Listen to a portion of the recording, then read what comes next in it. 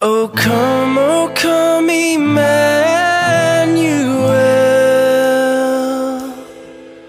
and ransom captive Israel. That mourns in lowly exile here until the Son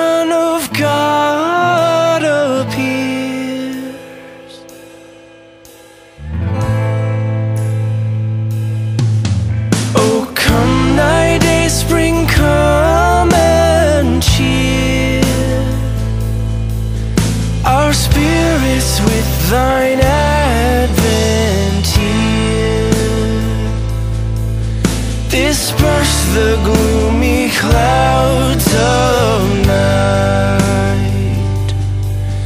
and death's dark